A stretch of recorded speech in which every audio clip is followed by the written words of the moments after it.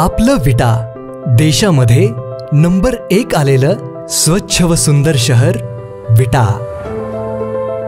अशा शहरात आपण गुंतवणुकीचा विचार करताय? नक्कीच तुम्ही प्राईम लोकेशन्सला फ्लॅट दुकान ऑफिस वगैरे शोधतच असाल. मग निश्चिंत रहा. गुणवत्ता ससोटी लोकेशन्स व सर्व पर्यायांसाठी विट्यातील number एकचा brand Shri Rajlakshmi construction group. शहरातील प्रत्येक प्रमुख ठिकाणी आम्ही आहोतच. मायनी रोड यशवंतनगर भाजी मंडई छत्रपती शिवाजी महाराज चौक व एस टी स्टँड नजीक. आणि हो आपल्या गरजे व बजेटनुसार रेसिडेन्शियल व कमर्शियल सर्व पर्याय उपलब्ध.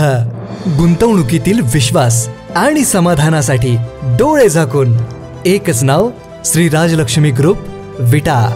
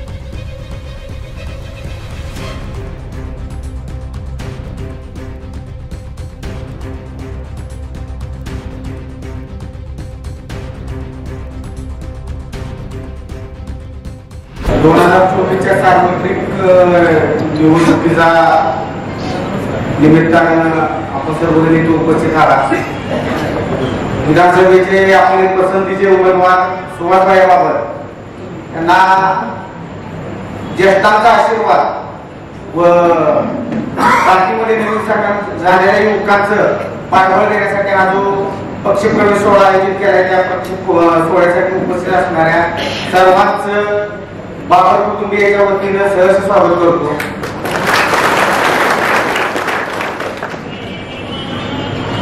बाया गेले तीन ते चार महिने झालं. आम्ही धर्मेश बाया आमचा एक सकारात्मक निर्णय घ्यायचा संवाद चालू होता. त्या संवादाला आज खऱ्या अर्थानं हा पक्ष प्रवेश झाल्यानंतर पूर्ण विराम मिळाला असं म्हटलं तर वापर ठरणार नाही. विटा शहराच्या राजकारणामध्ये जे काही बोललं जात शहरातली आणि शहराच्या बाहेरचा तर ही उपस्थिती सर्व काही सांगून देते की विटा शहरातील लोकांनीच आता सुभाष महाराज यांना स्वीकारलेलं आहे.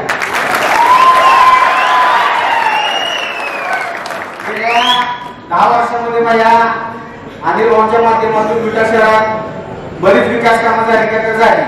पण मी आज तुम्हाला सगळ्यांना असं अं, आठवण करून देतो काही गोष्टींची. की भाऊ दहा कार्य कार्यकर्ता कार्यकाळात आमदार असताना काम करत असताना भाऊची इच्छा होती की विकास शहरासाठी काहीतरी करायचं. पण धर्मेशबाई आहेत पाचंद्रबाई आहेत मी या धर्मेशबाई यांनी काउन्सिलमध्ये काम केले की भाऊची इच्छा असताना नगरपालिके नगरपालिकेकडून काही काम करण्याची अडवणूक केली जात होती. पण परत प्रशासक आल्यानंतर गेल्या दोन वर्षामध्ये भाऊ असताना भाऊच्या पश्चात कमीत कमी तब्बल दोनशे ते सव्वा दोनशे कोटी निधी हा उपलब्ध झालेला भैया आम्ही सर्वसामान्य लोकांच्या नेहमीच उठ बसतो तुम्हाला पण माहिती आहे की मच्छर बसलेल्या सर्वांना ज्ञात आहे. आम्ही सर्वसामान्य लोकांच्या बसल्यानंतर आम्हाला त्या लोकांच्या प्रतिक्रिया येतात की आम्ही आज अखेर बाबत कुटुंबाला किंवा बाबत पार्टीला कधीही मतदान दिलं नाही. पण भाऊ गेल्यानंतर भाऊच्या पश्चात लोकांच्या अशा प्रतिक्रिया येतात की आम्ही कधीही निसंकोचपणे भाऊच्या बशी जायचं आणि आमचं काम मार्गी लावायचं. अशा पद्धतीचे भाऊचं काम होतं. कोण येणारा कधी कोणत्या पार्टीचा आहे कुठला आहे तो काय करतो याची कधीही तमाम बाळगता काम करणे हा एक भाऊचा ध्यास होता. त्या कामाचा परतावा म्हणा किंवा विकास शहरातील लोकांची त्या कामाचं प्रतिउत्तर म- तुम्हाला की विटा शहरातील लोक आज पहिल्या तुम्हाला भरभरून तुम्ही अपेक्षी अपेक्षा तुम्हाला नसत तेवढं मताधिक तुम्हाला देतील अशी मी ग्वाही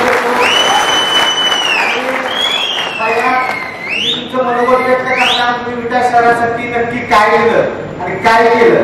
आता अं, बऱ्याचशा गोष्टीचा वैभव करणं मी योग्य नाही. तो वैभव तुम्ही केला तर योग्य ठरेल. पण विटा शहरात एक गोष्ट आहे बघा आम्ही समाजकारण राजकारणात कमीत कमी दहा वर्ष झालं सक्रिय आहे. की कब्बल दिलं जातं बबुलवर सांगितलं जातं तुमच्या बाबतीत असं तुम्ही बबुलवर देता कप कप्पर सांगता. तर ते तुम्ही बबुल बघून काय दिले या उपस्थित लोकांना तुम्ही सांगावं. अशी मी तुम्हाला विनंती करतो. पुनश्च एकदा इथे उपस्थित असणाऱ्या त्या शहरातील सर्व मतदार बंधू भगिनींच्या वतीने मी तुम्हाला आश्वस्त करतो. काही प्रकारचे प्रलोभन येतील अफवा पसरवतील पण तुम्ही दोन हजार चोवीस ला विटा शहरात एक मत का होईना तुम्ही जागा घेणार असं तुम्हाला आश्वस्त करतो. आज काँग्रेस शिवसेना पक्षप्रवेश स्वाध्याया अध्यक्ष अमोलदादा आणि सर्व सामान्य व्यासपीठ आमचे मित्र सरकारी आदरणीय धन्यपया विलास बापू आणि त्यांचे सर्व कुटुंबीय त्यांनी आज स्वाध्यायांच्या मार्गदर्शनाखाली शिवसेना पक्ष प्रवेश केलेला आहे. त्यांचं मी मनापासून अभिनंदन आणि शुभेच्छा देतो. आता मी इथं कसा एक दीडशे दोन वर्ष झाल्यावर बऱ्याच आमच्या वेटीकडे लोकांना प्रश्न पडला त्याचं उत्तर आज विचारून झालेलं होते एकोणीस वीस साली ज्यावेळेस कोरोना आला मला काय करायचं सगळे पूर्ण आपला देश राज्य सगळं जग सगळं घरात बसलेलं होतं मी दोन हजार पंधरा सोळा साली वेजगाव शेती घेऊन पडलेली होती ती विकणार होतो रिअल इस्टेटचा व्यवसाय नव्हता त्यामुळे ती घेऊन विकणार होतो काय करायचं म्हणलं कोरोनाच्या काळात मी त्याला एक वीर पाडली वीर पाडली तसं हळूहळू डेव्हलप करत गेलो आणि मी पूर्ण वीस एकर माझी शेतीने प्लेन लेवल करून झाला सगळ्यात महत्त्वाचा प्रश्न नंतर झाला की आता तिथं पाणी मुबलक नव्हतं मूळ मुद्दे मला पाणी कुठं नाही तर तिथून माझ्या शेतीपासून जवळपास एक चार साडेचार किलोमीटर अंतरावर देवीपिंडीचा तलाव वेगवेगळा देवीपिंडी तलाव. तिथे गेलो ते सर्वेने सगळ्या माप वगैरे दिली. साडेचार किलोमीटर अंतर पडत होतं. आता त्याला म्हणजे सगळ्या टेक्निकली बातमी पूर्ण करू.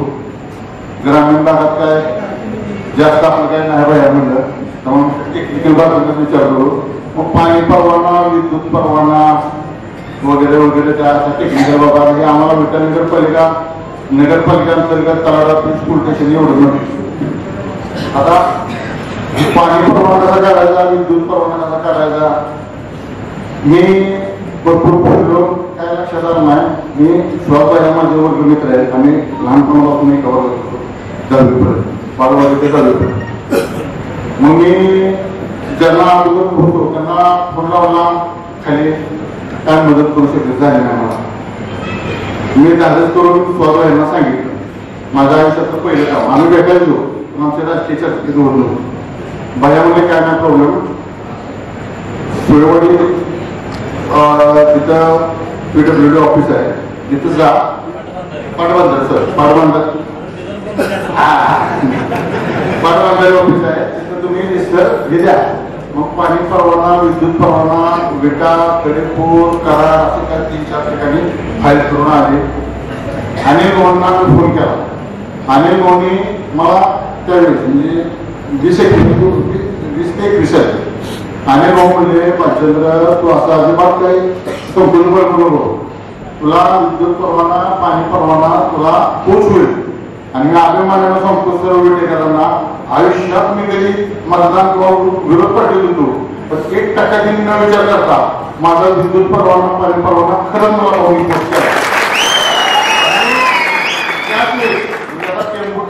चालेल नाही तुम्हाला.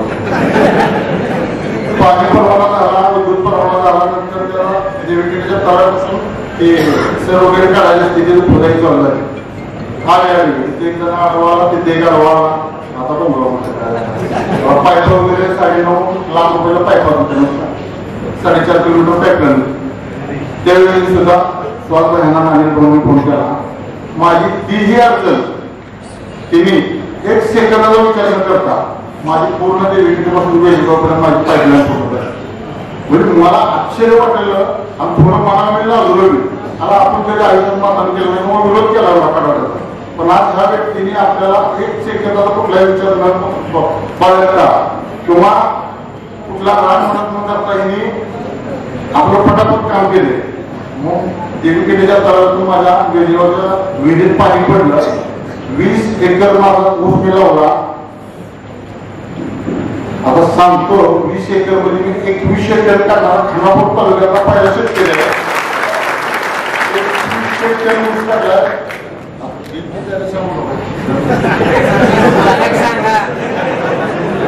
आता एकवीसशे गुणिले तीन हजार तुम्ही करा आणि मी होता. सांगितलं मी अनिल भवनच्या सात जानेवारीला मी तिथं बोललेलो होतो. पण आता जास्त मला काय बोलता आलं नाही की मध्ये विषय तेवढं पण भौतिक भावनिका मी माझा शेतकरी म्हणजे झालो विट्या शहरातला मुलगा बेजगावात जाऊन शेती केली एकवीसशे टन ऊस काढला. मी सात जानेवारीला अनिल भवनच्या वाढदिवसाच्या कार्यक्रमाला भयामध्ये माझ्याकडं असा असा कार्यक्रम आहे तुम्ही या बाहेर म्हटलं बाहेर बोलणार आम्हाला एका गोष्टीचा अभिमान आहे की मी अनिल भाऊंच्या समोर अनिल भाऊ असताना मी अनिल भाऊ म्हटलं की भाऊ मी तुमच्यामुळे शेतकरी झालोय. त्याचा मला फार अभिमान आहे भैया या अनिल भाऊनी किंवा तुम्ही एवढा विरोधक मी असून सुद्धा तुम्ही जर मला प्रामाणिक मदत केली किंवा शेतकरी तर ते मुद्रा सगळ्यात मोठा लाभ आहे. तालुक्यात कोण असेल तर मी बालचंद्र कांबळे लोकांना कळतं तर त्या अनेक कालांतरानं अनेक निधन झालं. त्या दिवशी मी ठरवलं काय तर तर सुहास यांच्या पाठीमागे ठाम उभं राहायचं. बाकीचं काय करतोय काय नाही सुहास सगळं सहकार्यानं माहिती आहे ते काही बोलत नाही. पण बाया तुम्ही आमदार व्हावं हो आणि तुमच्या पाठीमागं आमची जेवढी मित्रमंडळी आहे आमच्या जेवढी समाज बांधव आहे तेवढे तुमच्या मागे ठाम उभा करणार आणि खरोखर तुम्हाला विचारला लीड मिळणार. शंभर एक काही जण काही काही जण सायलेंट आहे काही जण पण ती तुम्हाला मतदानाच्या स्वरूपात ती मिळेल तुम्हाला भावी आयुष्याच्या आता तुम्हाला भविष्यात आवडत नाही म्हणून काय बोलत नाही पण तुम्ही आमदार होणार आहे ते काय सर्वांची पडलेले फक्त औपचारिकता राहिलेली आहे पूर्ण होईल तुम्हाला आमदार होण्याच्या आणि सर्वांच्या तुम्हाला आता बहिणीच्या बरोबर समजा काम करणार तुम्ही भैयाचा अनुभव तुम्ही स्वतः घ्याल आणि तुम्हाला स्वतः भविष्यात कळेल की खरं सुरुवात आणि आम्हाला करा निस्वार्थीपणे की तमा राग न प्रामाणिक काम करणारी व्यक्ती आहे. तर तुम्हाला शुभेच्छा आणि मित्र म्हणून तुम्ही आमदार व्हा माझा वर्ग मित्र आमदार व्हा. त्याचा आम्हाला सारखा अभिमान राहील एवढं बोलतो थांबतो जय सर्व मान्यवर तुम्ही पहिल्यांदा स्टेजवरले सर्व मान्यवर. माझी ताकद असणारे माझे चुलते घुमट माळेचे सर्व ज्येष्ठ मान्यवर. तसेच माझे घुमटमाळ बजरंगनगर रेवानगर. त्याच्यानंतर आपले अ, बंजारा समाजाचे माझे काही लोक या सगळ्यांचं मी पहिल्यांदा मनापासून आभार मानतो की ते माझ्या विश्वास ठेवून माझ्या एवढ्या मोठ्या कार्यक्रमाला एवढ्या मोठ्या हजेरी दिली. राजकारण करत असताना ही माझी ताकद आहे. ती माझी ताकद आहे हे माझ्याकडे असतात म्हणून भैया मी कुठलाही निर्णय घ्यायला अजिबात सोबत आणि त्यानंतर अध्यक्षांची साथ असेल आमचे स्नेही डॉक्टर आपले प्रताप पाटील असतील या सगळ्यांच्या याच्यातून कुठेतरी एक निर्णय करायचा असं सारखी मनात इच्छा होती. त्याला मूर्त स्वरूप आज आलं. खरं तर मला भाऊंच्या हो आता आपल्याला पाहिजे होते. मला भाऊंच्या उपस्थित काम करायची माझी फार इच्छा होती. दादा पण ती इच्छा आहे माझी थोडी उंची इच्छा पूर्ण होऊ शकण्याची मला खर्च शंभर टक्के मला वाटते.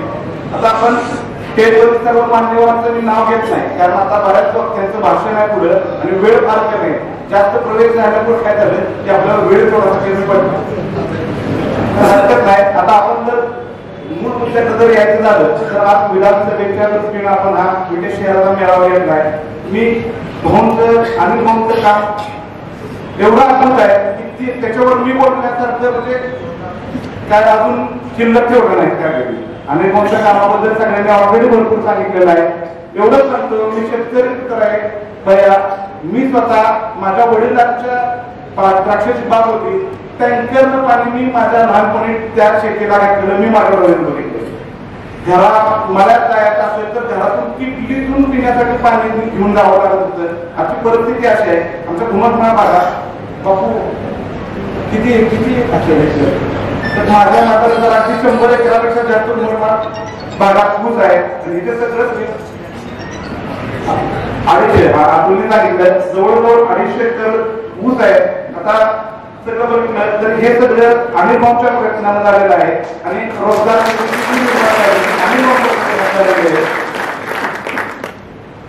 आता पुढे बरेच मान्यवर बोलणार आहेत पण मी तुम्हाला माझ्या एवढी घ्यावी घेतो की आम्ही सगळे एकदा आल्यावर किंवा आमचा घुमटमानाने ठरवलं विट्यात शंभर टक्के बाई आम्ही तुम्हाला लीड देऊ. त्यासाठी आम्ही जिवाचं दान करू एवढी सगळी देतो. आणि तुमच्याकडं भविष्यातील शुभेच्छा देतो. आणि मी पहिल्यांदा आमचे पाहुणे कार्यकर्ता आणि नाना यांचा आभार मानतो यांच्या पाठिंब्याने यांच्या सूचनेनुसारच मी करत केले. फक्त त्यांनी माझ्या पाठीशी ठाम उभा राहावं. मी मागतो ते धन्यवाद.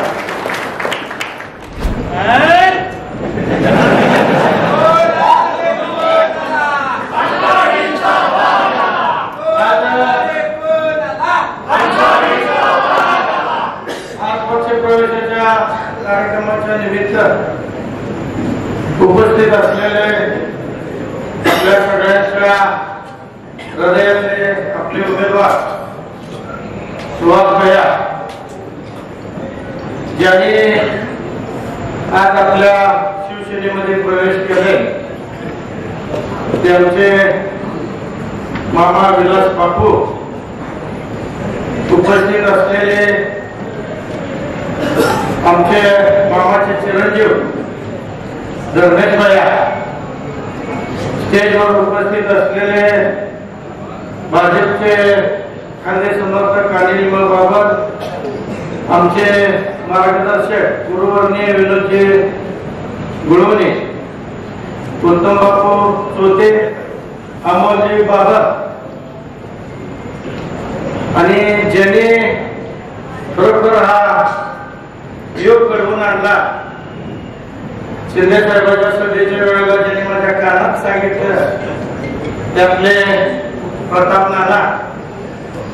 आता सगळ्यांची नावं घेऊन वेळ घालवण्यापेक्षा स्टेजवर उपस्थित असलेले सर्व नेते मंडळी आणि समोर बसलेले सर्व बंधू. मला वाटतं मी कधी मामाला शब्द टाकला नव्हता राजकारणाविषयी कधी बोललं नव्हतं.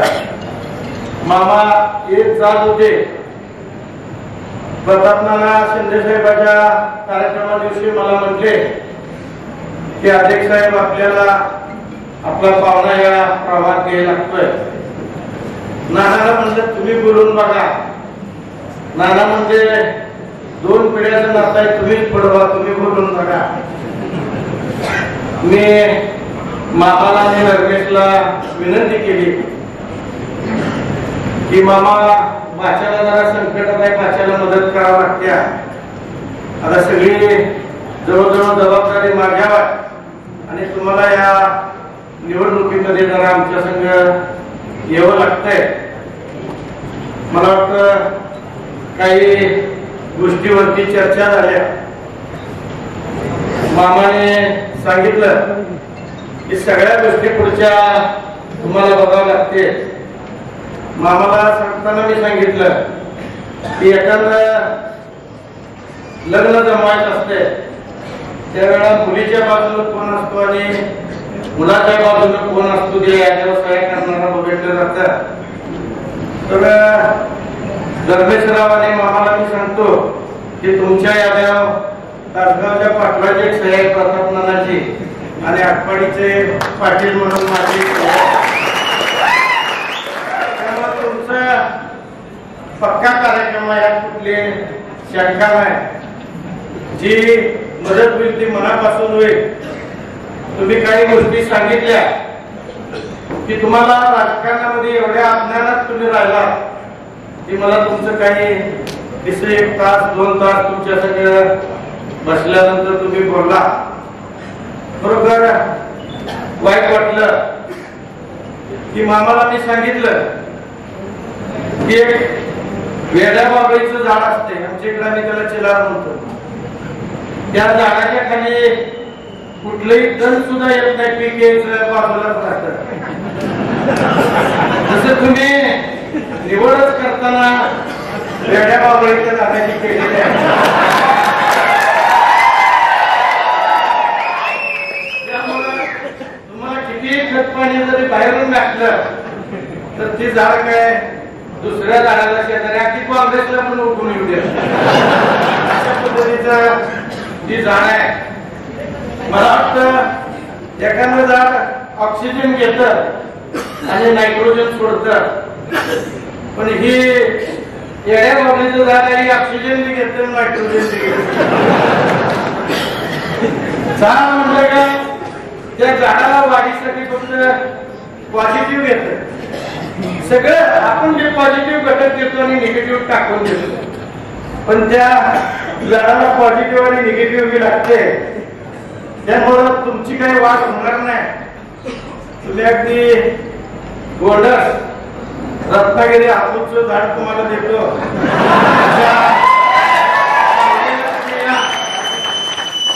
आणि काही मदत करायची ती निश्चितपणाने आम्ही तुम्हाला मदत करू. मामाने सगळ्या गोष्टी मान्य केल्या. मला म्हणजे त्या दोघांना मी बोलवा घरी.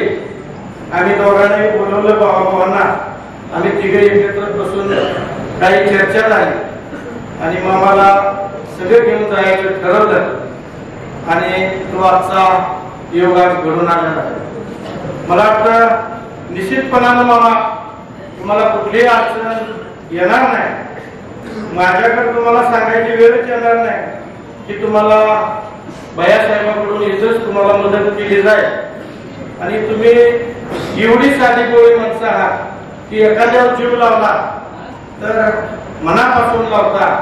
आम्ही अनेक कार्यकर्ते बघितले की लाभ घेतात आणि निघून जातात.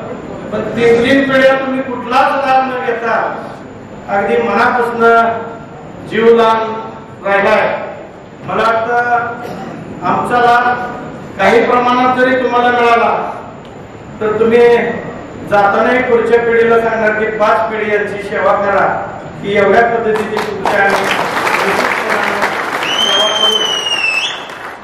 मला वाटतं जास्त बोलण्यापेक्षा वेळ झालेली आहे. माझ्या तालुक्याची जबाबदारी माझ्या मोठी आहे. मग मी सुहासला म्हणतो होतो की मी बोलून जातो. सुहास ह्याबद्दल तुम्ही जाऊ नका. शेवटपर्यंत थांबा. पण वास्तविक पाहता मला तुम्हाला आज सगळी गोळा झालाय. त्यामुळे सांगण्याची गरज आहे. आज जिल्ह्याच्या पाठीमागच्या राजकारणाचा सगळा जर विचार केला तर मला वाटतं ज्या कुटुंबातली जी व्यक्ती राजकारणामध्ये असणारे आपल्यातून निघून जाती त्या व्यक्तीच्या कुटुंबातल्या पुढच्या व्यक्तीला मला वाटतं साथ दिली जाते. आपल्या जिल्ह्यातली परिस्थिती बघायला गेली बाबा आपल्यातून गेले रोहित पाटलांचं वय भरत नव्हतं. परंतु त्यांच्या पत्नी सुगमताईला अगदी पुढे चाल कोण अशी दुर्मिळ कोण उभा राहिले होते मला तर त्या कुटुंबाला चाल दिली. ज्यावेळेला डॉक्टर कदम साहेब आपल्यातून गेले त्याही वेळेला त्यांच्या कुटुंबामध्ये विश्वजित कदमांना पुढे चाल दिली गेली. मला वाटतं राजकारणात कुणी असा जास्त विरोध केला नाही. ज्यावेळेस राजाराम बापू वाढले त्याही वेळेला जयंत पाटील अकबरल्यात शिकत होते आणि जयंत पाटलांना तिथनं आणून बिनविरोध आमदार केलं. मला वाटतं या तिन्ही कुटुंबाला त्यांच्या पश्चात त्यांच्या कुटुंबातलाच आमदार व्हावा. याच्यासाठी भाऊनी मोठ्या प्रमाणात प्रयत्न केले होते. पण आज भाऊच्या कुटुंबावर ज्यावेळेला वेळ येते. त्यावेळेला मला वाटतं वास्तविक पातळी निवडणूक बिनविरोध व्हायला पाहिजे होती. पण काही रणनीती वेगळी चालू झाली. आणि या राजकारणाला एक दिशा देऊन समदुखी लोकांनी एकत्र देऊन त्यांना आता थांबवलं पाहिजे. अशा पद्धतीचं डावपेच आखलं गेलं. पण मला वाटतं काही गाव आम्ही भावाकडून शिकलो होतो. त्यातलं काही गाव आम्ही टाकलं. आणि त्या जरा बऱ्यापैकी सक्सेस झालोय. पण अशी तरुणाची फळी बघितली समोर बसलेली विजयातली. तर मला वाटतं असं कितीही गाव पडलं तर परतवण्याची ताकद तुमच्यात आमच्यात आहे अशी निश्चितपणानं निवडणूक कशासाठी आहे? निवडणूक निवडून दिल्यानंतर जी आपल्याकडे जबाबदारी दिली आहे त्या जबाबदारीने या मतदारसंघातला विकास करणे मतदारसंघातली कामं करणे याच्यासाठीच निवडणूक असते. मला वाटतं कोण या व्यावसायिक निवडणुकांचे असं मी म्हणत नाही. मी मग येताना घाटावरती जरा थांबलो चहा घ्यायला. त्यावेळेला एक समोरच्या उमेदवाराची गाडी प्रचार झाली होती. त्या गाडीमधलं मी सं- संभाषण ऐकलं. म्हणजे ती स्पीकरवरती चालू असलेली पेनड्राईव्ह लावून. त्यामध्ये एकही गोष्ट विकास कामाची नाही. आम्ही इंजिनिअरिंग कॉलेज उभा केलं. आम्ही अगदी बी फार्मसी उभा केलं. बी फार्मसी उभा केलं. मला वाटतं ही व्यावसायिक दृष्टिकोन आहे. व्यवसाय. मी पेट्रोल पंप उभा केलं यात म्हटलं गेलं नाही. व्यवसाय आणि राजकारणातली कामं यातल्या यांना फरक कळत म्हणजे तुम्ही सांगताय का? तुम्ही दहा वर्ष आमदार म्हणून काम केले. तुम्ही काय केलं? हे सांगायला पाहिजे. नेता जरी आज केला तर नेत्याने केलेल्या कामावर तुम्ही आज पाच तास भाषण करा म्हणलं तर मी पाच तास काम सांगू तुम्हाला सांगायला काहीच काम नाही. मग तुम्ही संस्थात्मक संस्थात्मक दृष्टिकोनातून जर सांगत असला तर कुठला ऍडमिशन तुम्ही फुकाट घेताय? सगळ्या ऍडमिशनला व्यावसायिक दृष्टीतनं पैसे घेताय. आता बापूच्या बाबतीतच एक किस्सा सांगायला झाला. बापूने डी फॉर्मला ऍडमिशन मागितलं पोरं गेली होती मागाय. बापूला दोन लाख द्यायला लागते म्हणून सांगितलं. बापू आठ दहा दिवस वाट बघितली काही निरोप येतोय का बापू पंधरा दिवसानं पुन्हा एकदा गाडीत गेले उतरताना संध्याकाळी म्हणले पोरं दोन लाख तुमच्या कॉलेजवर सांगितले. एक लाखापर्यंत जुळणी करतो तेवढा ऍडमिशन द्या मुलांना बापू शाळा पण पाडायची का? दोनच लाख भरावं लागणार मला वाटतं आयुष्य ज्यांनी दोन दोन पिढ्या घालवल्या अशा माणसाला हे उत्तर बरोबर नाही. आणि हे व्यावसायिक राजकारण तुम्ही आज प्रचारामध्ये सांगताय म्हणजे व्यावसायिक दृष्टिकोनातून तुम्ही राजकारण करताय हे थांबलं पाहिजे. तुम्ही मतदारसंघामध्ये ज्या वेळेला दहा वर्ष काम केली त्यावेळेला टेंबूचा एक दगड इकडल्या इकडे हल्ला नाही. जसाच्या तसं होतं तुम्ही निर्गुण मागच्या वेळेचं तुम्ही अगदी दहा मिनिट डोळं दाखवून तपस्या करा. आणि दोन हजार चौदा नंतरची चोवीस मधला कालखंडाचा तुम्ही विचार करा. एकही वडा वगळत तलाव शिल्लक राहिला नाही की त्या भागामध्ये पाणी गेलं नाही. मला तर बापूंनी सांगितलं की ह्या तलावात पाणी पडा म्हणून आम्ही दहा वेळा गेलो होतो. समोरच्या माणसाकडे. पण आम्ही सजासजी गावाला म्हणलं की तुम्ही या तलावामध्ये पाणी सोडून भरून देऊ शकता का? तर ते काय तर उलटा तलाव भरतोय. तर उलट्या पद्धतीने पाणी सोडून तो तलाव पाहून भरून घेतला. म्हणजे ह्या कृतीत चालू आहे हा विषयच आपला हा व्यावसायिक आपला विषय हा पाणी देणं पाणी भरून देणं हा आपलं काम नाही. असं मला वाटतं त्यांनी दहा वर्षामध्ये काम केलेलं आहे. ह्या चौदा नंतर चोवीसपर्यंत काम झालं. त्यात तशी गावं राहिली. त्या गावातल्या काही लोकांच्या कल्पना होत्या की बाबा तुम्ही म्हणताल की मी टेंबूचं पाणी दिलं आणि मी सक्षम झालो मी दिलेल्या शब्दातनं मोकळं झालो.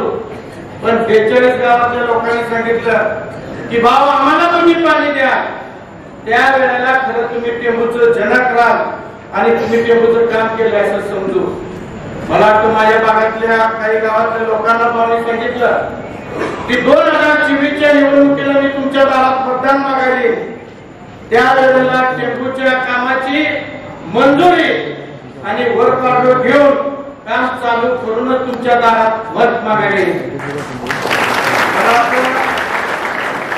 सहाव्या टप्प्याची मंजुरी घेतली. इस्टिमेट तयार केलं. त्यांच्या मला वाटतं शेवटच्या इच्छा संपल्याच झाल्या आणि भाव आपल्याला सोडून गेले. पुढची जबाबदारी आमची राहिली होती. भया आम्ही मुख्यमंत्र्याला भेटलो. त्यांना विनंती केली की भाऊची शेवटची इच्छा होती की मी मत मागायला त्यावेळेला शेवटच्या घटकाच्या लोकांपर्यंत माझ्या टेबूचं पाणी गेलेलं असलं पाहिजे. एकनाथ शिंदे साहेबांनी अर्जंट त्याची टेंडर नोटीस काढली वर्कआउट केली. आणि डायरेक्ट एक तारखेला आपण काम चालू केलं. मला वाटतं नारळ अनेक फुटतात पण हा नारळ कुठल्यापासून आतापर्यंत जवळजवळ खोदायचं काम चाळीस टक्के पूर्ण झाले म्हटलं तर काय?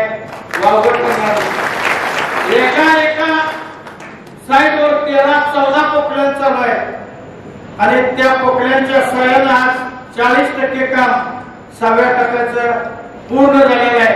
आणि मग आम्ही जी भावची इच्छा होत्या त्या भावच्या रूपात सुवास गायला घेऊन दहा तास मत मागायला जातो. की भावची इच्छा होती. काम मला वाटतं भाव गेल्यानंतरची कामाची गती घ्यायची होती. मला मान्य आहे की शंभर सुवास बयान दीडशे तानाई पट्टी जर घातली तर आणि भाऊच्या कामाची बरोबरी कोण करू शकणार नाही. पण निश्चितपणानं त्याची जे काही अपुरी स्वप्न होती ती पूर्ण करण्याच्या दृष्टीने या आठ महिन्यामध्ये मला वाटतं आम्ही अगदी रात्रचा दिवस करून या मतदारसंघामध्ये सव्वा टक्क्याचं निधी सोडून जवळजवळ साडे तेराशे कोटी रुपये या खानापूर आखाडे मतदारसंघामध्ये आणि प्रत्यक्षात काम चालू केले. ती कामाचं जी गती बघून मला वाटतं त्या गतीचा पुढच्या विचार करून की किमान एक वीस ते पंचवीस वर्ष तर पुन्हा आपल्याला जुळणार नाही. त्यांना आताच थांबवणं गरजेचं आहे. अशा दृष्टीने मला वाटतं समदुखी लोकांनी आज आपल्यासमोर निवडणूक लावायचं ठरवलेलं आहे. मी निश्चितपणानं सांगतो सगळ्या कार्यकर्त्यांना ताकदीनं उभा राहण्याची गरज आहे. प्रत्येक माणूस आहे की जे अनिल भाऊचं रक्त घोटण्यासाठी तुम्ही सगळ्यांनी मला वाटतं त्यांना झिजवल्या त्यांचा खरोखर आपल्याला जर शांती लावायची असेल तर प्रत्येकानं आपल्या गावामध्ये लीड दिलं पाहिजे किमान साठ टक्क्याच्या पुढे तर त्यांच्या तुम्ही केलेल्या कामाचं काय तर चीज होईल. नेता असताना कोण बी लीड करत? त्यात तुमची ताकद होईल त्या नेत्याची ताकद असते. पण नेता नसताना जो लीड करतो तो खरा हडाचा कार्यकर्ता असा मी समजतो. मी निश्चितपणा जरी भाव आहे की माझी जबाबदारी आहे. की आटपाडीमधून तुम्हाला भेट देणं मग कोणी उमेदवार आमच्यातला असो नाहीतर तुमच्यातला असो. आमच्यातल्याच्या पटीत देईल त्याच्या दबडीने तुमच्यातल्याच्या पटीत तुम्हाला भेट आठवड्यातून मिळणार. आता आम्ही सगळ्या कार्यकर्त्यांनी वास्तविक पत्ताक्रमवर खसलेले आहे. मला तुम्ही वर बघायचा प्रयत्न करता. पण माझ्या गुरु साहेब जरा जबाबदारी मोठी आहे. कारण मी एकटा पडतोय. सगळी एकीकडे जाऊन जसं जंगलात सगळं चित्र एखाद्या तुटून पडते आणि त्याची शिकार करायला होते पण मी बी भाऊच्या तालमीतला आहे. बोला जसं शिकून इकडे करतो इकडे जातो. त्यांना सगळ्यांना शक्काच्या दिशेने घालून मी इकडे विजयात असलेलं त्यांना कधीही कळू देणार निश्चितपणाने मी सगळ्यांना हात म्हणून विनंती करतो की आपण सगळ्यांनी ही निवडणूक गांभीर्याने घेतलं पाहिजे. उरलेल्या काय जे तेरा चौदा दिवस आहे. की तुम्ही आमच्यासाठी ज्या पाच वर्ष उरले तुम्हाला राजासारखं सांभाळायचे काम हे आम्हाला तिघांचं आहे. ते वीस तारखेला मतदान आहे. आपलं दोन नंबरला नाव आहे. बऱ्याच. आपला शिंदे गटाचे आपल्याला शिवसेनेचे तिकीट आहे. आणि धनुष्यबाण काही आपल्याला आता नवीन नाही. धनुष्यबाणाची आपल्याला हॅट्रिक करण्याच्या दृष्टीनं आपण सगळ्यांना तयारी लागावं अशी अपेक्षा व्यक्त करतो आणि सांगतो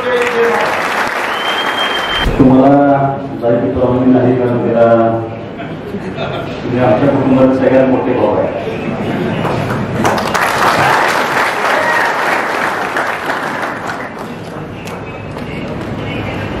रमेश भाईच्या मनोगतामध्ये एक गोष्टी जाणवली की माझ्या दृष्टीनं अत्यंत महत्वाची होती की आज खऱ्या अर्थानं रमेश भाई आणि भाऊ असायला पाहिजे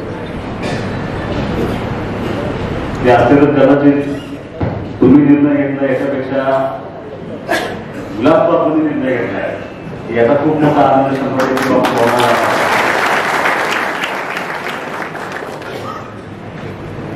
आपल्या संस्कृतीमध्ये असं म्हणणं आहे गेलेला माणूस गेल्यानंतर सुद्धा कुठेतरी आशीर्वाद देत असतो.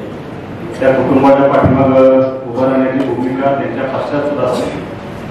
आणि बापू मला असं वाटतंय की जरी हो गेले असते तरी आज तुम्ही घेतलेला निर्णय आणि त्यांच्या पश्चात तुम्ही दिलेला आशीर्वाद हा आमच्या कुटुंबासाठी आणि या मतदारसंघातल्या अनिल भाऊंच्या कुटुंबासाठी खूप मोठी प्रेरणा आणि खूप मोठा आता येणार असं जेवढं मात्र आहे.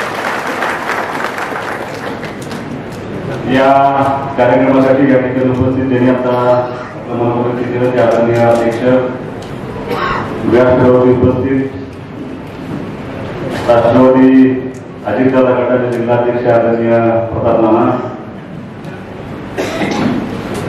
आदरणीय उत्तम बाबा होते आदरणीय आनंदराव काका पाटील व्यासपीठावरती उपस्थित आदरणीय विनोदजी गोरे साहेब भाजपचे ज्येष्ठ नेते आदरणीय अनिलप्पा आदरणीय राजू भैया आदरणीय अमोलदादा व्यासपीठावर उपस्थित आमचे ज्येष्ठ नेते आदरणीय कृष्णादांना ज्यांनी आपल्या कुटुंबामध्ये येण्याचा निर्णय घेतला ते आदरणीय विलास बापू आणि भैया तुमचं तिथं राजकीय आयुष्य किती आहे मला माहीत नाही. किती किती वर्ष त्यांच्याबरोबर तुम्ही तुम्ही? पंधरा वर्ष तुम्ही होता.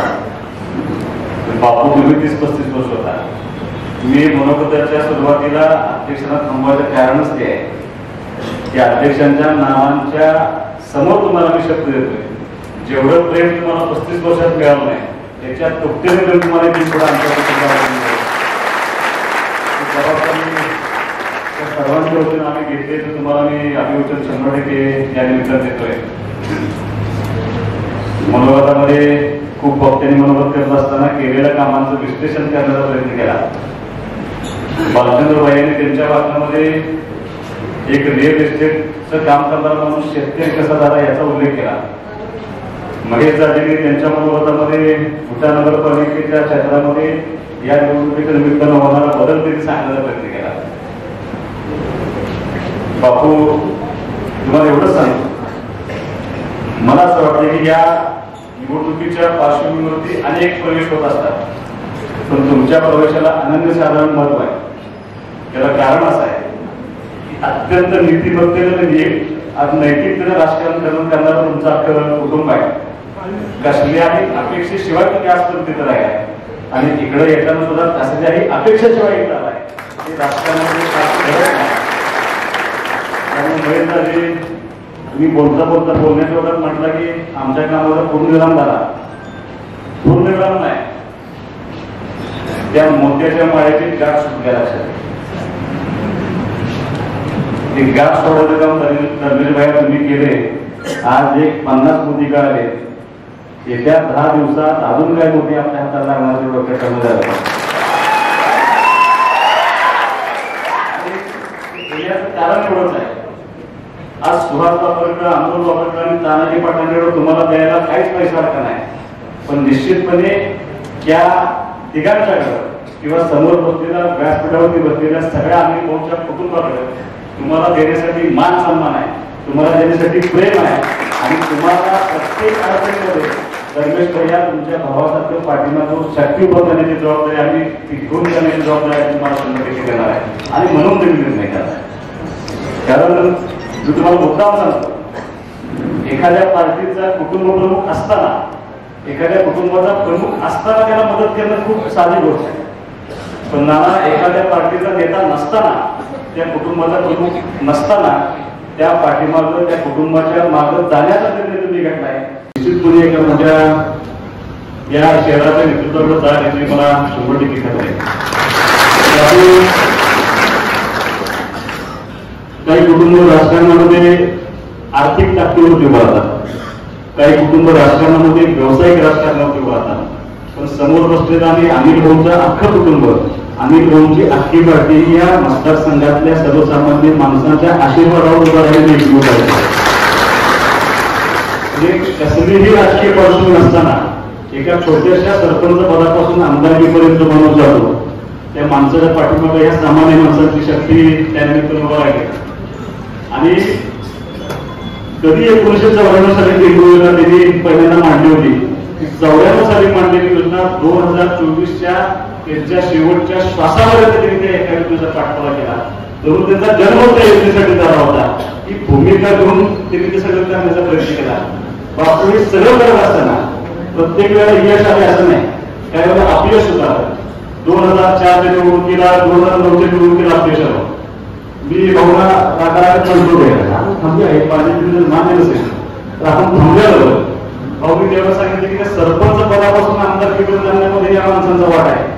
त्यांच्या उपकारात उपकार व्हायचं असेल तर त्यांच्या शेतीला पाणी दिल्याशिवाय पर्याय नाही. मी तो त्यांना शब्द दिलाय आणि ती सत्ता असो नसून मी ते काम आयुष्यभर करत राहणार ते मानवी आयुष्यभर काम करण्याची भूमिका घेऊन त्यांनी ते योजना पूर्ण केली. बापू आज काही लोकांनी माझ्यावर आरोप केला. म्हणजे फक्त वडिलांचा वारसा सांगतात म्हणजे शब्दाचे कौतुक काय आता तुमचं कर्तृत्व पाहिजे तुम्हाला सांगायला पाहिजे. मग मी माझं कर्तृत्व सांगतो. ज्या वेळेला हे भाऊने आम्हाला सांगितलं होतं त्यावेळेला मला असं वाटतं की आपण सुद्धा राजकारणामध्ये आलं पाहिजे आपल्या वडिलांना मदत केली पाहिजे. जर आणि भाऊ आमदार झाले तर निश्चितपणे ह्या मतदारसंघामध्ये काहीतरी बदल होईल. आणि कामाला सुरुवात केली. दोन हजार बारा साली मी पंचायत निवडून निवडून आल्यानंतर उपसभापती म्हणून मला त्या ठिकाणी काम करण्यास संधी मिळाली मुलाला धावून निघालो होतो रात्री झोपलो सकाळी सहा वाजता मला पाहिला मला टँकर आला नाही टँकर कशाचा पिण्याच्या पाण्याचा दोनशे टँकर खानापूर तालुक्याला पिण्याच्या पाण्यात चालू होते तीच अवस्था आठवडा तालुक्याची होती त्याला अंदाज होतं ती आम्ही पाडून पाडतो पंचायत समितीला जी पंचायत समितीनं पिण्याचं पाणी टँकर चालू केलं. त्या पंचायत समितीनं एकूण दोन हजार बारा ते दोन हजार सतराचं केलेलं जर कामाचा उल्लेख केला. तुम्हाला सोळा तासाचं कर्तृत्व शंभर टक्के कळेल. आणि माझं कर्तृत्व तुम्हाला सांगायचं असेल तर तुम्हाला एकाच बाबतीत सांगतो माझं कर्तृत्व काय आहे. दोन हजार बारा साली सोळा बाबरची एंट्री त्याच्यानंतर तुम्हाला विजय मिळाला नाही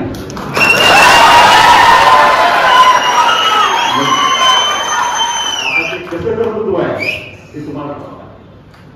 निश्चितपणे चांगली भूमिका घेऊन त्या मतदारसंघामध्ये या मतदारसंघाचा विकास करण्याची भूमिका घेऊन गेले चाळीस वर्षांचं कुटुंब काम करते.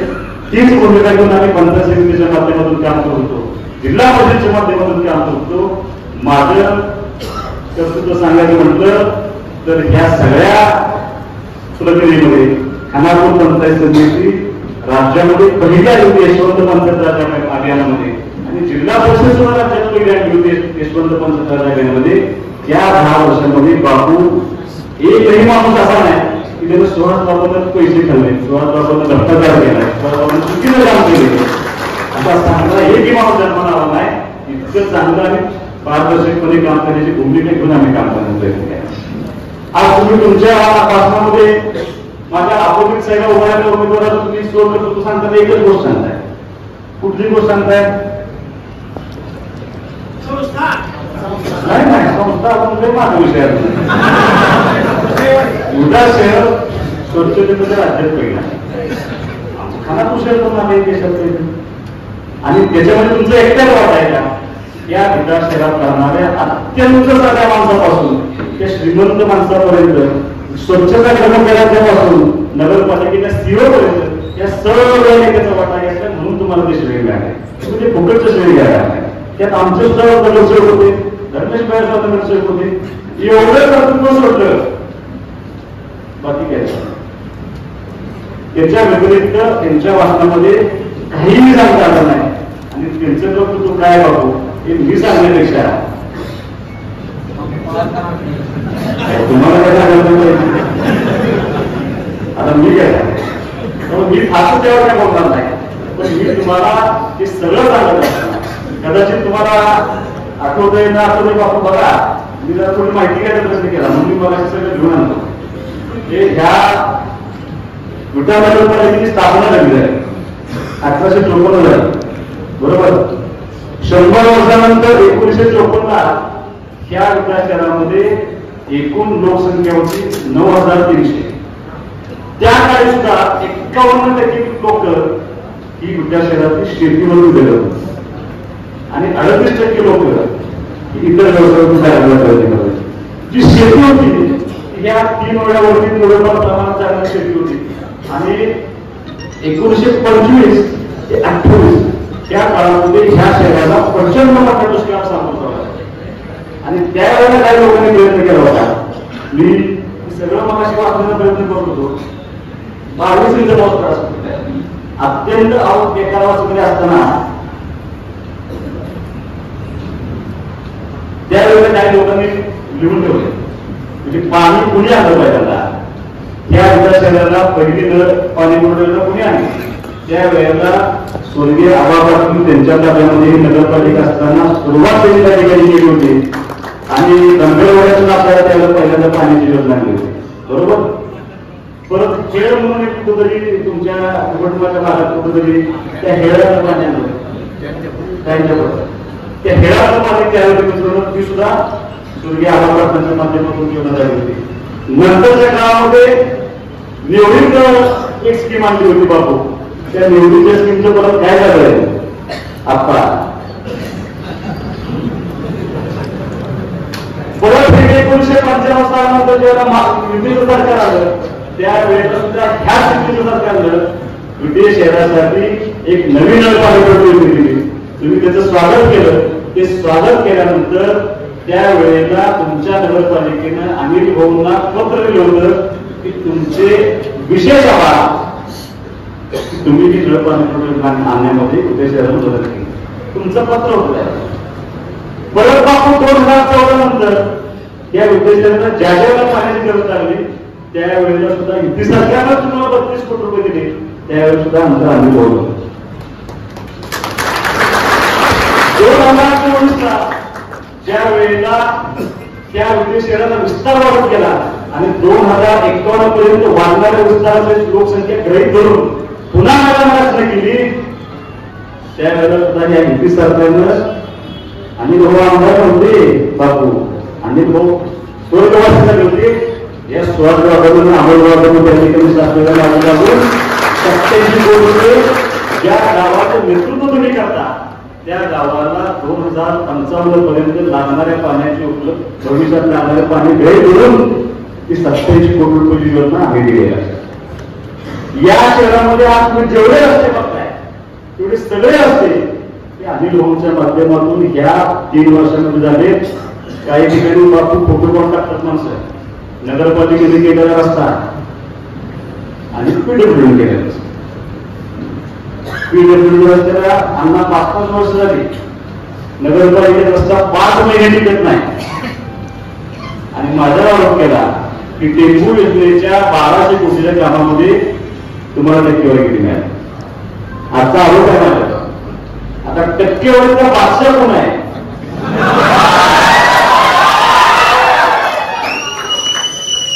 हे माझं मत अजिबात नाही बघून मला टीका करायला मी लोकांची मत तुम्हाला सांग म्हणजे या मतदारसंघामध्ये त्या जिल्ह्यामध्ये जेवढ्या नगरपालिका आहेत जेवढ्या स्थानिक स्वराज संस्था आहेत त्या सगळ्या स्थानिक स्वराज संस्थांमध्ये ज्या वेळेला एखादं अध्यक्ष टेंडर होत ते टेंडर विरोध जात. जातं काय नाही आपल्याला म्हणजे पीडब्ल्यू जातं पंचायत समिती जातं झेडपीला जातं. एकमेव नगरपालिका आहे. जिथं नऊ टक्के तो आहे. म्हणजे हे जेव्हापासून सत्ता करतात तेव्हापासून नऊ टक्के अभाव मला कळत नाही एक लाखाचं काम असेल तर आमच्यात कॉम्पिटिशन असते जिल्हा परिषदला कोण ऐंशी हजार भरतं कोण नव्वद भरतं कोण सत्तर भरतं त्यांच्याकडे मात्र एक लाखाचं काम असतं. एक लाख नऊ हजार. ते नऊ हजार अधिक त्याचे वीस हजार. आणि मग त्या कॉन्ट्रॅक्टरचा नाही होतो आणि मग त्या कामाची दुर्दशा होते. त्यामुळे या गोष्टी मला असं वाटतं की अजिबात की आपली चुकीच्या करण्यामध्ये मजा नाही. आपल्याकडे प्रघात आहे. आपल्याकडे संस्कृती आहे. की गेलेल्या माणसावर शक्यतो बोलू नये. पण दुर्दैवाने आजही म्हणजे पंधरा दिवसापासून आज सुद्धा आम्ही बहुमती बोलण्याचा प्रयत्न होतोय त्याच्यासाठी त्यांचा नाव आहे. आणि बोलताना कुठल्या कुठल्या भाषेमध्ये बोलताय? वेदना आम्हाला होता. की त्याच्यावर फारसं बोलणार नाही. पण त्या आम्ही भाऊंच्यावरती बोलताना काल त्यांनी परवाच्या एका बातम्यात असं सांगितलं की अनिल भाऊ गद्दार आहे पन्नास कोटी रुपये कोटी कोटी घेतले निवडून घे पन्नास कोटी जर मी घेतले असते फॉर्म भरला का सगळी माहिती.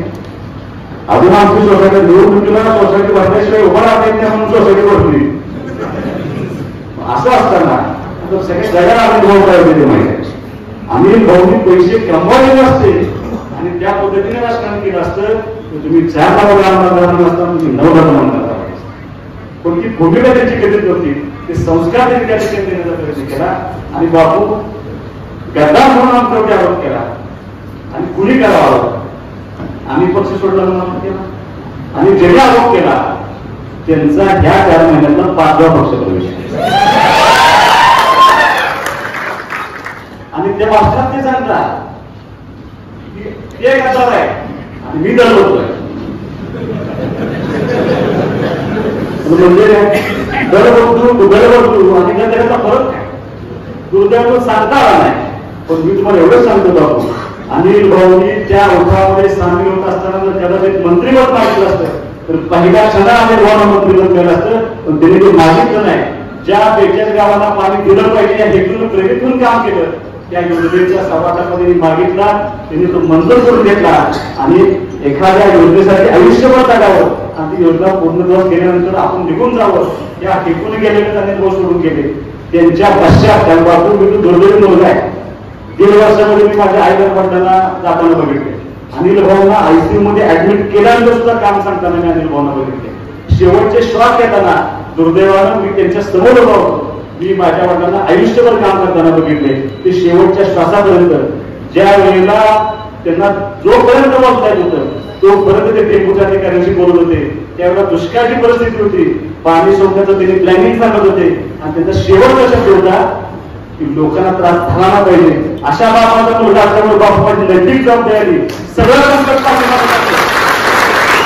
आणि ती जबाबदारी आपल्या वडिलांना जबाबदारी पार्टीने माझ्या विश्वास दाखवून दिले जबाबदारी करण्याची निर्णय घेऊन आणि त्यासाठी कार्य नाही भयानक ठिकाणी आम्हाला संघर्ष करत लागला या महिन्यामध्ये लोकांना अनुभव वाटले पण आम्ही ते ताकदीनं पार्टी सांभाळली त्या आठ या टेंबुर्गीचा सव्वा टप्पा खुला घ्यायचा या हेतून झालो माझं नाव तुम्ही केंद्र करून घेत एक तारखेला त्या कामाचं भूमिपूजन झालं बापू तीन तारखेला काम चालू झाले. आज जाऊन बघा चाळीस टक्के खुदाई खूप झाल्या. उद्यापासून मुंबई काही ठिकाणी पायपांचा स्टॉप करण्यात आलाय. त्याचं काम महत्वाचं जाते तिकडे आणि बहुमत श्रद्धांनी असं मानणारा मी छोटासा काय आणि परवा वाटत सांगितलं हा सहावा टप्पा होता आहे. कोण सांगते ज्या लोकांनी ही टेंबू योजना अनिल भाऊ तुम्हाला फसवताय टेंबू नावाची नदीच नाही तुम्हाला प्रधान लोक ठेवत आहे असलं कधी काय होणार नाही. त्यावेळेला अनिल भाऊ तेच म्हणते टेंबू नावाची नदी नाहीच आहे. नदी कृष्ण आहे. तेवढं त्या काय पाणी पूर्ण नाही देवाची दिवाळी म्हणले. दिवा दिवाळी म्हणले मला त्याला सुद्धा मिळते पण त्याला मिळालं नाही. दिवाळी म्हणून त्या गंगा निवडली या मतदारसंघाच्या तमाम शेतकऱ्यांचा अपमान केला त्या कृष्णाच्या पाण्याचा अपमान केला. त्या माणसाने त्या सहाव्या टप्प्याला असं सांगितलं की खोटं आहे म्हणजे खोटं कसं काय? तर आता निवडणुकी कोणत्या पायपा टाकले निवडणूक झाली की घेऊन जाणार आता निवडणुकी पुरतं टाकायचं आणि परत घेऊन जायचं ही संस्कृती कोणाला ते मी विश्वापुरात सांगितलं फार असती माणसं म्हणलं का असताय खाल्लं मला काय सांगितलं म्हणलं निवडणुकीला मतदान करा म्हणून एक कमाल वापरून दिली म्हणजे आमच्याकडे.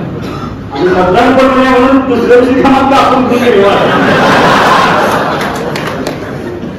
ही संस्कृती मला असं वाटतं. की राजकारणामध्ये अजिबात नसते हजार लोक कुठे आवाज करायचे.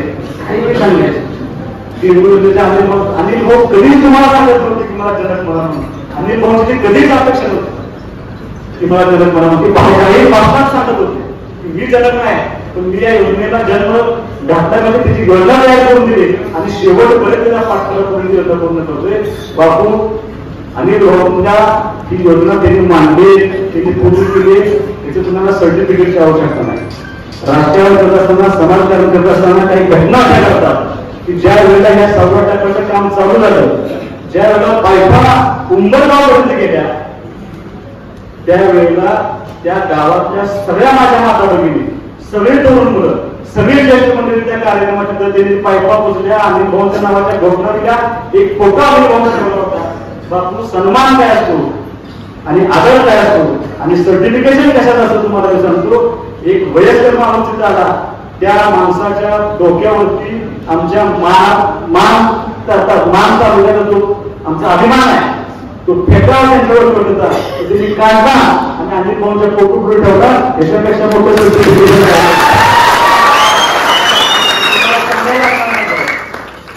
तुम्ही मी ठरवून चालत नाही. ते आम लोकांच्या ठिकाणी ठरवले. आणि ते भूमिका घेऊन की जबाबदारी घेऊन आपण त्या ठिकाणी काम करण्याचा प्रयत्न करतो माझी तुम्हाला विनंती आहे. निवडणूक निवडणुकीच्या पद्धतीने झाली पाहिजे. अध्यक्षांनी त्या ठिकाणी त्या ठिकाणी व्यक्त केल्या भावना. मला असं वाटतं अध्यक्ष. की राजकारणामध्ये काम करत असताना कदाचित आपण जुने शिक्षण बरी त्यांनी काय माहिती नाही. त्यांच्याकडे मला असं आलं की जाऊ दे. दिवस आमदारांची जागा मागायला नको. मी मात्र एवढं करून तात्पुरी घ्यायला प्रयत्न केला.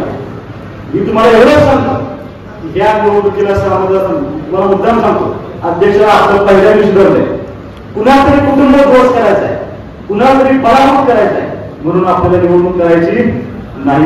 जे केलेलं काम आहे महेशजी मी प्रत्येक मी अध्यक्ष प्रत्येक गावात जाते एक मी गावात राहिलेलं नाही. त्या गावामध्ये भाषण करताना आम्ही लोक विचारतोय तुमच्या गावात एक काम झालेलं नाही. लहानात लहान गाव सांगते चार कोटी रुपये काय करा तुमच्या गावात किती रुपये चार कोटी रुपये तुमच्या गावात. तीन वर्षामध्ये चार कोटी काय गावात गेले. अडचण त्या सरपंच दमला या दिवस पन्नास कोटी रुपये असेल तर काका दिले तिने असेल पन्नास कोटी. रोजगार घालायची कोणतं काय बोलायचं नाही. पाणी देण्याबरोबर या मतदारसंघामध्ये खऱ्या अर्थानं सगळ्या गोष्टींमध्ये विकास करण्याची भूमिका घेऊन आम्ही इथं काम करायला प्रयत्न केला आहे. तुम्ही सांगू नका संस्था संस्था संस्था. काही वेळा त्याचे तेवढंच एक मानताय दहा वर्षामध्ये कुठल्याही गावात जायला काय नाही. काय सांगायला वापस नाही. त्यामुळे एवढंच सांगतो की आम्ही इंजिनिअरिंग करू शकत आम्ही हे केलं आम्ही ते केलं.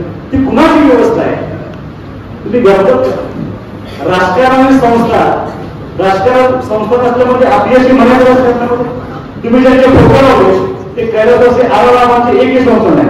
त्यांना अपयशी म्हणायचं राजकारण तुम्ही ज्यांचा फोटो लावलाय ते यशवंतराव चव्हाण साहेबांची एकही संस्था नाही. त्यांना अपयशी म्हणायचं आता ते देवेंद्र फडणवीस साहेबांची एक संस्था नाही. त्यांना राजकारणात अपयशी म्हणायचं मुजुमकारांनी सिम्बॉल कॉलेज उभा केलं त्यांना राजकारणी म्हणायचं त्याला एमआयटी कॉलेज उभा केलं त्यांना राजकारणी म्हणायचं तुम्ही गपलत करताय राजकारण आणि संस्था याची गपलत करून तुम्ही लोकांना फसवायचा प्रयत्न करताय, या उभा केलेल्या संस्था या तुमच्या दोन मुलांच्या विरोध आहे त्याच्यापेक्षा वेगळं काय? मी बी एम एस कॉलेज उभं करणार खोटं काय सांगायचं? तुम्हाला आहे बापू रोजगार म्हणून सांगतात. एकदा द्यायला किती रोजगार दिले बघूया शंभर दोनशे चारशे. त्याच्यापेक्षा जास्त नाही. आणि माझा उलटा प्रश्न आहे ज्या दिवशी तुम्ही संस्था स्थापन केली त्या दिवशी लागलेला मुलगा आज तुमच्यात कामाला यायला थोडं दाखवा बघू तुमचं चांगलं करणार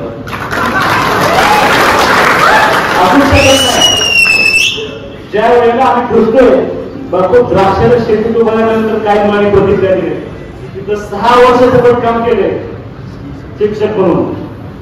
आणि ज्या दिवशी ग्रँड व्हायची वेळ आली त्या दिवशी आम्हाला काय झालं आत्महत्या करण्याची लोकांची परिस्थिती? पण ती कोरा शेती करतायत. राजेंद्र भैया तुम्ही उत्पन्न सांगितलं नाही. माझ्या नोटीमध्ये मी सगळ्याला गेलो एका तरुण मुलाला भाषण केलं. त्याने भाषणात सांगितलं पाणी येण्यापूर्वी पंचवीस पाचशे टन ऊस जात होतं मला पाचशे टन. म्हणजे या मागच्या वर्षी मला भैया पंचवीस हजार टन ऊस गेलाय माझं तुम्हाला आव्हान आहे. पंचवीस हजार टन तुम्ही ते तीन हजार टन राजेंद्र भैया माझ्या मोबाईल बसत नाही. तुम्हाला मला तुझं सांगा.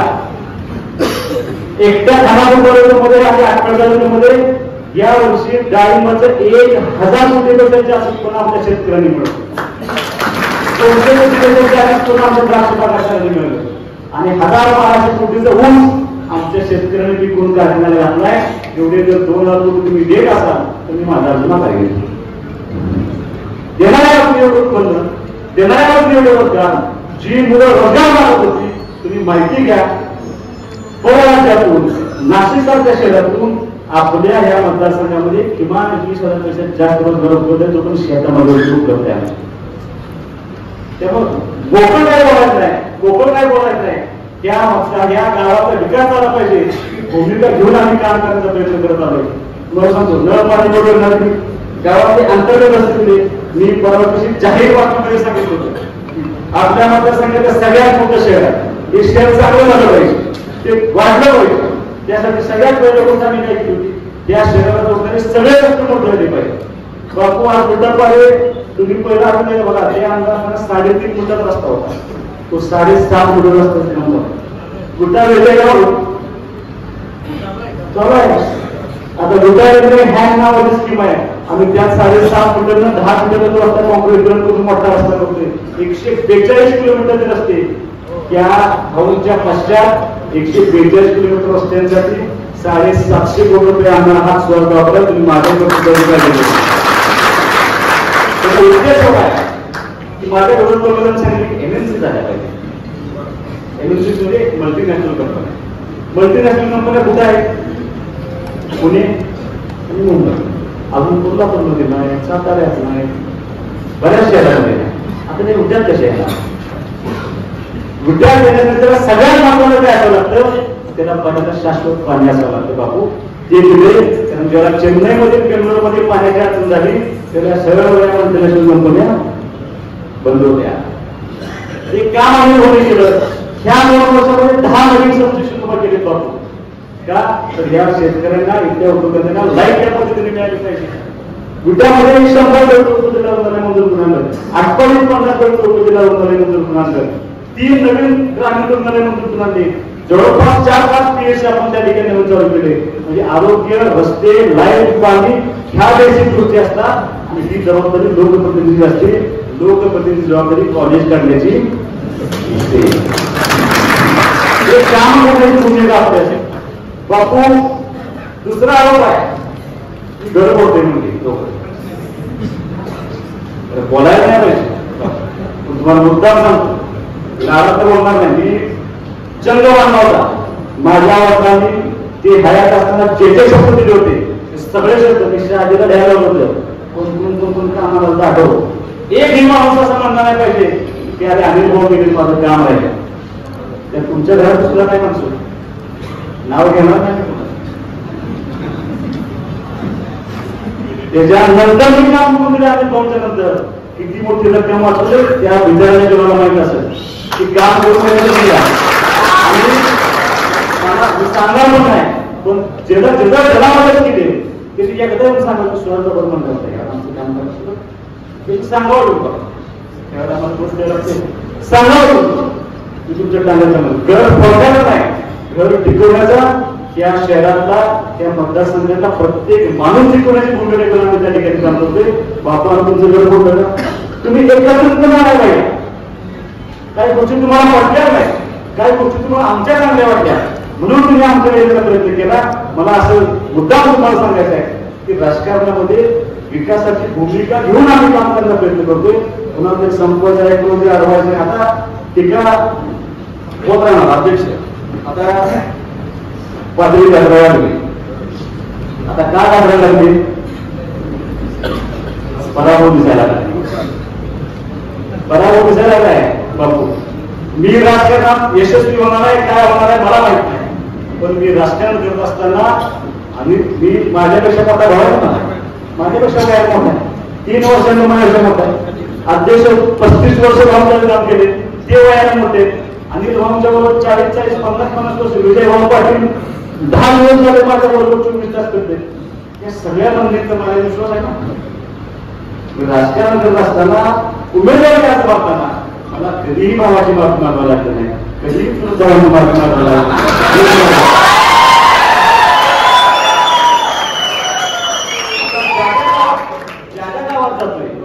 त्या कुठल्याही गावामध्ये मी माफी मागत नाही मी केलेलं काम सांगतोय. आणि मी बदल मागतोय तुम्हाला सुद्धा माझी विनंती आहे त्याच्या पुढे मी कुणाला काय बोलणार नाही.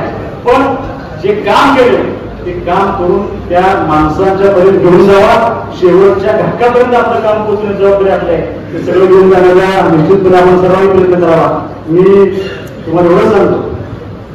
आम्ही भाऊच्या वरती प्रश्न उपस्थित करतो. होते की ज्या पेरपोईचे श्रेय एकट्यानं नाही. तुम्ही दहा वर्ष तुम्हाला अनुभव बघताय. दहा वर्ष तुम्हाला आमदारकी मिळाली. त्या काळामध्ये म्हणजे खूप काम झालं. मी जाहीर वाचनामध्ये सांगतो. आपल्या जिल्ह्याचे नेते आणि राष्ट्रवादीचे प्रदेश अध्यक्ष आदरणीय जयंतराव पाटील साहेबांनी मनापासून आभार मानतो. सांगितलं दोन हजार तीन साली मी अर्थमंत्री असताना मोहम्मद फजल तात्कालीन राज्यपाल होते. त्यांना घेऊन मी आलो आणि तेराशे पंधराशे कोटी बसले त्यावेळी रामदेव भाऊ होते. तुमच्यावर रामदेव भाऊच्या काय आणायला होते. दोन हजार एकोणीस आठ टीएमसी पाण्याचं आरक्षण पाहिजे होतं. ते आठ टीएमसी पाण्याचं आरक्षण मी करून दिलं. त्यावेळेस सुद्धा आमच्या आम्ही होते. आणि ते तुमच्या बरोबर होते. याचा अर्थ असा आहे जे केलं ते आम्ही लोणी गेले लक्षात तुम्ही जाहीर वाचनामध्ये कसं केले साहेब याच्यापेक्षा मला काही बोलायचं नाही. पण तुमचा हा अनिल भाऊंचा अठरा मतदारसंघ तुमच्या मनापासून आभार मानतो. विरोधात जरी असता. तुम्ही जाहीर कबूल द्या अनिल भाऊ या मतदारसंघामध्ये ते तुमचं काम झाले सोडून घेतलं माझी तुम्हाला विनंती एवढी द्यावा बाबा पण ते हे सगळं करत असताना हे सगळं करत असताना भविष्यामध्ये राजकारण काय करायचं आहे? म्हणजे शेवटी असं आहे एमएनसी घेण्यापूर्वी मला असं मत आहे की ह्या आपल्या विद्यार्थ्यांचा मुख्य व्यवसाय पोल्ट्री आणि यंत्रणा आणि त्याच्यावर बघितलं पाहिजे. मग मंत्री कंपनी चर्चा करा. ते सक्षम होण्यासाठी काय करायला पाहिजे? ती भूमिका घेऊन आम्ही हवं जातो पुढं. हे सगळं करत असताना तुम्हाला माझी विनंती आहे. मी आयुष्यामध्ये दोन उपक्रम केले एक पंचायत समितीची तिकीट एक जिल्हा परिषदची तिकीट पंचायत समितीचं तिकीट मागायला भावना गेलो. तिकीट मागल्यानंतर भाऊ मला म्हणले तुझ्या बापाची पार्टी नाही म्हणले सर्वसामान्य माणसाने उभं केलेली पार्टी त्यांनी मला सांगितलं पाहिजे. मी रामभाऊ भेटतो देवकर भावना भेटतो. प्रकाश नारायण भेटतो वाळूच्या आमच्या शंकरामाला हयात त्यांचा शिंदेचे त्यांना भेटतो. उत्तम जाधव त्यांना भेटतो. आणि म्हणलं मला तिकीट पाहिजे. तुम्ही सगळ्यांनी भाऊला सांगायला पाहिजे. सगळी मंडळी म्हणून येते उत्तम आहे. आणि भाऊला सांगितले की त्याला उभा राहा त्याला तिकीट द्या. त्याला बाबी सांगितलं होतं. त्याला तिकीट देतो पण माझी एक बाब आहे म्हणून. प्रचाराला मी येणार नाही. आणि भाऊ प्रचार आले नाही. भाऊ सगळी होतो मी पंचायत समितीत लढलो भाऊ माझ्या प्रचाराला आले नाही. मी झेडपीला होतो भाऊ माझ्या प्रचाराला आले नाही. जागा पण निवडून दुकाना नगरपालिकेला लढला त्याच्या वाड्यात फक्त एकदा पराभव झाला एकदा विजय झाला. त्याच्या वाड्यात भाऊ कधीच प्रचार आला त्यांनी ते तत्व पाळलं. मनाला वाईट वाटतं. की आयुष्यातल्या दोन निवडणुका लोक बाप बरोबर करतात. आणि आज दुर्दैवानं आयुष्याच्या सगळ्या सगळ्यात तुम्ही कृष्णा सामोरत असताना बाप बरोबर नाही. पण मला एवढंच तुम्हाला सांगायचं आहे की बापू रवी बरोबर शीख मनामध्ये शंभर टक्के आहे. पण तुमच्यासारख्या ज्येष्ठ माणसांमध्ये म्हणजे कुठलं त्यांचा अंश आहे. ते गेल्यानंतर मला बापू असं वाटतं की आपण या तुम्हाला माझी विनंती आहे की सगळं करत असताना शेवटी शत्रूला मी कमी लेखणार नाही. ते आता रोज म्हणत आहेत की आम्हाला पोटेची पीठ आहे. आता खरे पैसे त्यांचं नाही आहे रेकॉर्डिंग आहे हे असं दाखवलं सगळं बाकी ओके ते फक्त द्या मी तुमच्याकडे मी पैसे कमी आहे पण तुम्हाला कमी कमी लेखायचं नाही तुम्हाला त्या विधानसभेच्या निवडणुकीला तुम्हाला माझी विनंती आहे फक्त चौदा दिवस आहे फक्त. सगळी मंडळी आपल्या बरोबर येतात हे चौदा दिवस मला तुमच्या आयुष्यातले अनिल भाऊंसाठी आणि त्यांच्या कुटुंबासाठी पाहिजे तुम्ही रात्रीचा दिवस घ्या ताकदीनं आपलं चिन्ह धनुष्यबाण आहे की धनुष्यबाणाचं चिन्ह या मतदारसंघातल्या शेवटच्या माणसांचं करत कोण न्याय काम केलं त्या ठिकाणी वापर केलं पाहिजे. जागा म्हणून काम केलं पाहिजे. मला निश्चितपणा अशा निवड करतोय. माझ्या आयुष्यात मी कधी एवढा प्रतिसाद बघितला नव्हता. अध्यक्ष कोटू भोमन आणि विजय भाऊ माझ्यावर करत होते. विजय भाऊ येणार भाऊ नाही त्यांनी एका भाषणामध्ये केलं.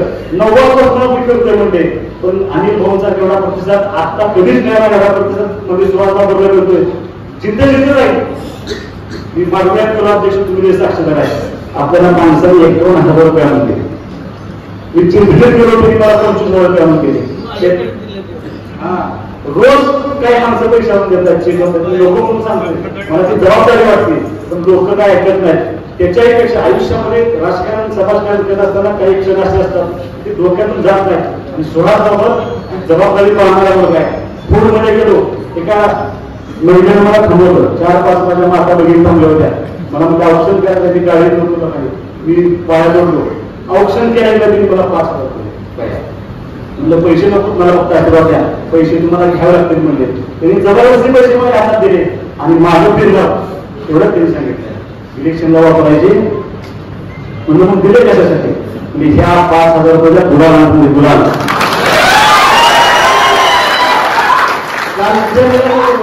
काल सभा झाली एक छोटी मुलगी आली. तिने पिगी बँक दिली खूप काय दिलं मला सन्मान पण एक तिनं साठवलेले पैसे बॅग तिने ती फोडली. आणि तिने मला तिच्या हातात पैसे दिले म्हणून तिने लोक म्हणलं पैसे. तुझे वडील म्हणजे भैया घ्या. तिनं रात्रीपासून ती बँक फोडली. ती तिघी बँक फुटली आणि तिचं म्हणणं असं आहे की सगळ्या दिवशी मला झोप करणार ती रात्रभर सांगितले कुठलं प्रेम आलंय? ते आम्ही भाऊच्या कृष्णमूर्ती प्रेम आहे आणि त्या प्रेमावर ही पाठी जिवंत आहे. आणि सोळा बाबत ते पत्ते लावणार आहे. एवढं ते एवढा आशीर्वाद लोकांचा व्यायाम करणार आहे मी या मतदारसंघाचा तमाम जनतेला विरोध करतो.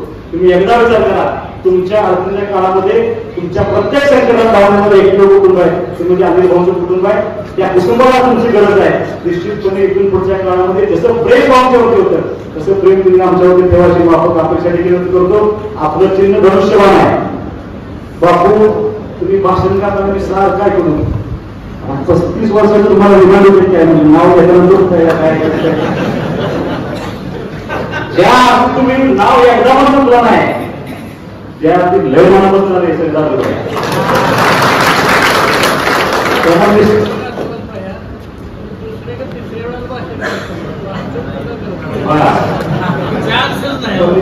आज तुम्हाला आम्ही आदिल भावनाची करतोय त्यांचा अंश आज तुमच्यामध्ये शंभर टक्के असेल धर्मेश भाई इथून पुढे आमच्या भावालाच असेल त्यांना कुठेही कमी करून देणार नाही. एवढं अभिवचन देतो आम्ही करतो. जय हिंद जय महाराज